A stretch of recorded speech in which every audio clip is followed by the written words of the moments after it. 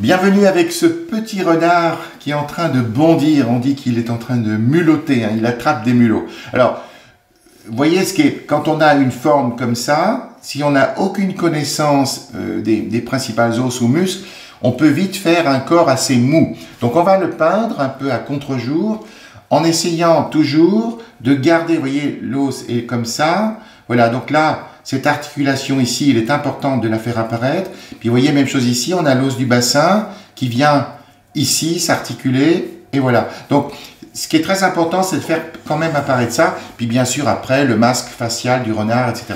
Donc on va, on va mouiller l'entier du renard. Voilà, je vais même mouiller la tête. Voilà. Les pattes. Voilà.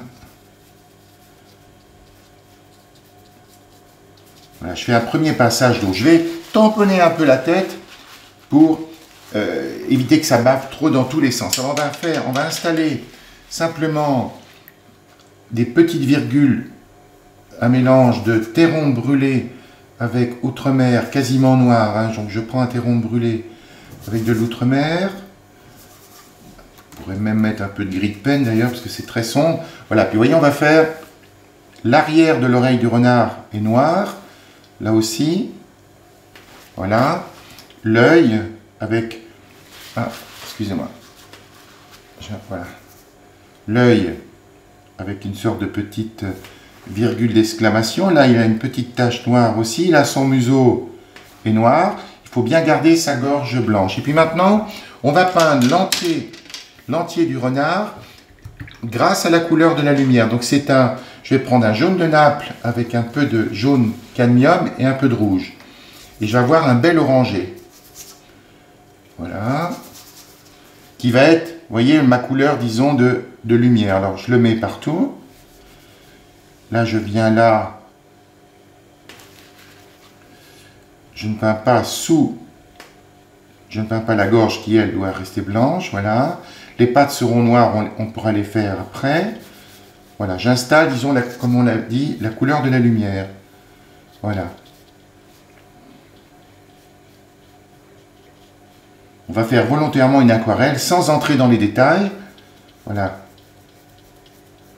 Vous voyez, j'ai mis la couleur de la lumière. Je remarque que mon papier est encore humide, ce qui est plutôt bien. Donc là, on va maintenant roussir. Donc je reprends mon jaune cadmium avec un peu de terre de sienne brûlée et de rouge. Voilà, puis là, je vais maintenant avoir, comme son nom l'indique, un renard roux.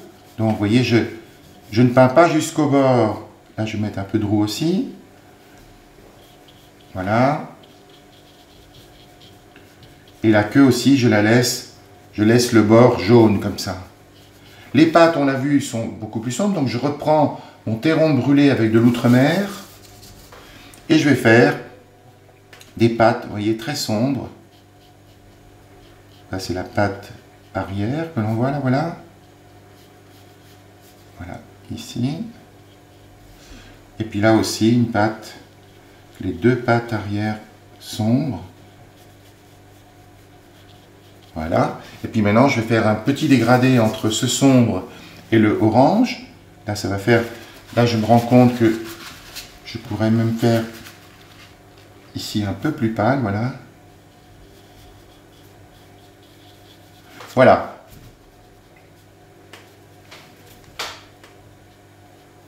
Voilà, on vient de faire notre petit renard qui saute. Donc, ce qu'on va faire, c'est qu'on va accentuer vous savez ce, dont je vous parlais à l'égard des os. Donc là, nous pourrions tout à fait ici, voyez, je prends un pinceau, j'enlève un peu de couleur, et ici je vais faire l'accroche euh, euh, de cette articulation un peu plus claire. Alors regardez, même chose ici, je vais faire un tout petit peu plus clair, et je vais faire apparaître en mettant ici un tout petit peu plus sombre. Voilà. Voyez, et de cette façon, on voit bien, je vais mettre un peu plus sombre ici, voilà. Et puis ce qu'on va faire maintenant, c'est qu'on va peindre les pattes, euh, pour lui, sa les deux pattes euh, à droite, un peu plus sombres. Donc je reprends terron brûlé et bleu outremer, mais un peu plus violent.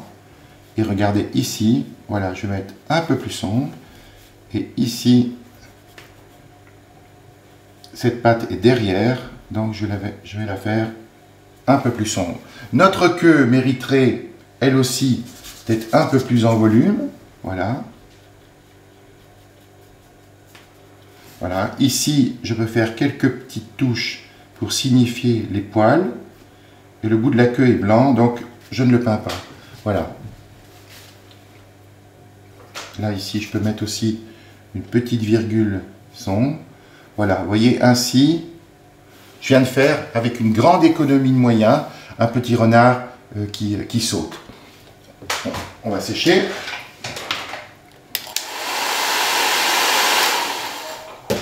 Maintenant, ce que l'on va faire, c'est qu'on va faire le, contre-jour. Parce qu'en fait, ce renard, vous voyez ici, cette très belle lumière qui court. Maintenant, on l'a un petit peu perdu. Donc, on va plonger l'entier du renard dans l'ombre. Donc, cette partie-là, euh, cette partie qui est sa gorge et, sa, gueule qui est plutôt pâle, vont devenir avec un bleu un peu plus pâle, avec un, un glacis. Alors, je prends un glacis, je prends un tout petit peu de bleu outre-mer avec un peu de terron brûlé. Voilà, je suis en train de le mélanger. Je peux vous montrer.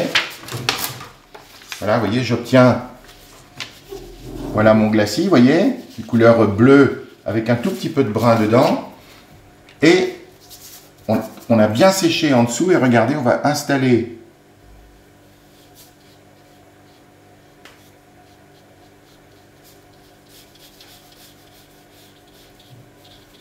Voilà, nous venons de plonger notre renard dans l'ombre. Imaginons maintenant que ce renard, comme sur le modèle, soit dans une prairie extrêmement lumineuse, une prairie d'été, hein, puisque là il, est, il, écoute les rongeurs, il se jette dessus après. On va faire un très beau vert d'été, donc je prends un peu de, vert, euh, de jaune citron pardon, et de vert de hooker pour avoir un, vert très joyeux. Voilà un vert jaune quasiment. Hein. Voyez, un vert de, voilà, très très lumineux. Là, on va en mettre partout.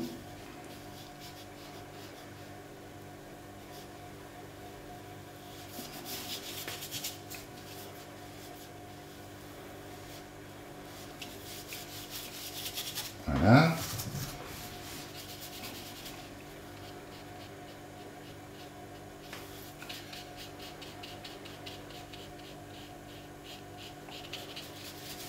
Voilà, puis là on va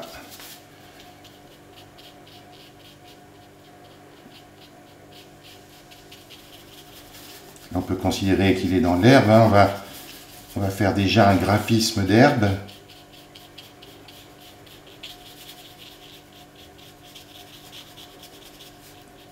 Voilà. Je faire le tour.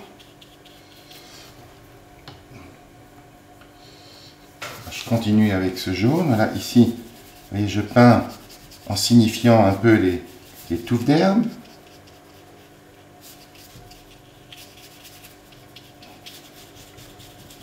Là, l'herbe des arrière-plans, on va juste la, suggérer. Voilà, comme ça, par exemple. Voilà, puis on va... Alors, excusez-moi.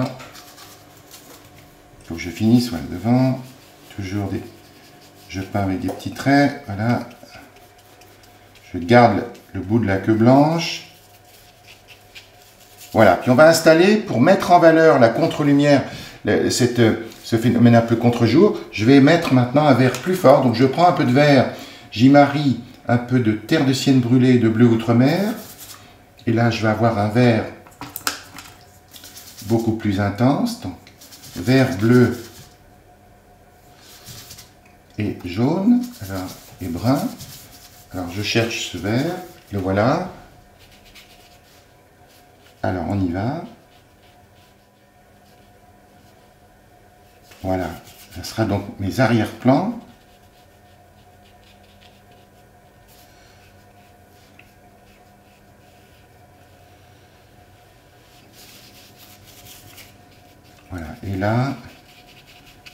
je pourrais tout à fait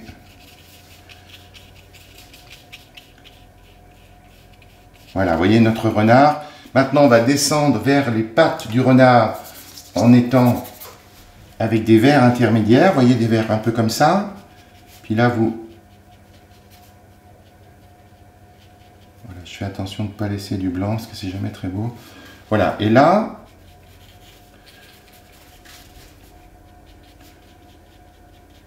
Voilà, je fais un graphisme d'herbe.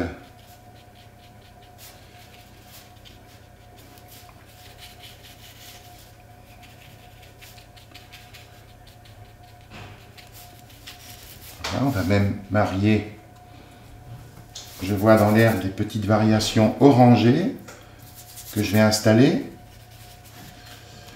qui rappellent un peu la couleur du renard.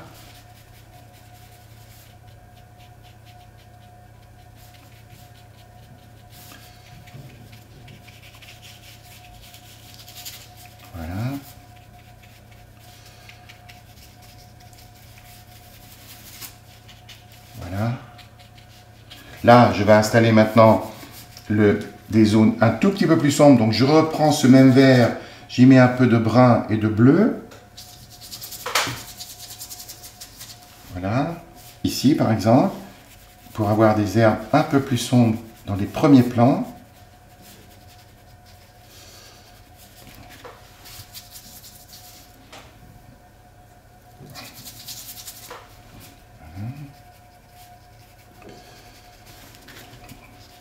Là, vous pouvez même mettre, même avec votre, votre ongle, vous voyez, vous pouvez faire apparaître quelques herbes un peu comme ça en négatif, ça peut être joli. Vous voyez, vous, vous grattez. Ça va donner un peu de nervosité. Là,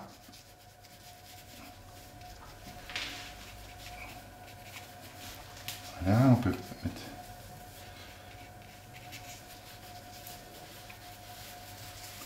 Voilà, puis on pourrait maintenant installer l'ombre portée du renard qui est, en, est extension. Donc on va mettre une ombre portée, vous voyez, qui très discrète là. Donc je reprends mon vert, mon brun et mon bleu. Alors, voilà. Et là, vous voyez ici,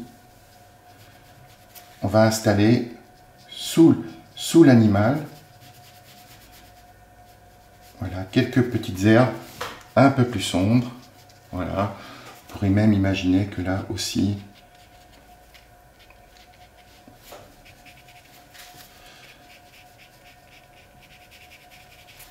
Voilà, vous voyez, un verre, en fait, un verre pur, dans la nature, n'existe pas. Ce sont des variations. Vous voyez ce que je suis en train de faire C'est des petites voilà, variations. Voilà, là, on voit bien l'ombre maintenant portée du renard. On pourrait même... Voilà, et vous voyez, on commence à voir vraiment un renard dans l'ombre. Je me rends compte que je pourrais même passer un second glacis un peu plus fort. Mais je vais le laisser comme ça. volontairement, je vais le laisser relativement doux. Là, ce qu'on peut faire, c'est corriger un peu. Vous voyez cette zone-là qui n'est pas très heureuse. Voilà, comme ça, là, je mets simplement de l'eau claire. Je vais tamponner un peu, voilà. Voilà, et vous voyez, on vient de faire un petit renard euh, qui est cohérent dans la lumière, c'est-à-dire que vous voyez, le, sa gorge et sa, et sa gueule claire sont devenus un petit peu bleus.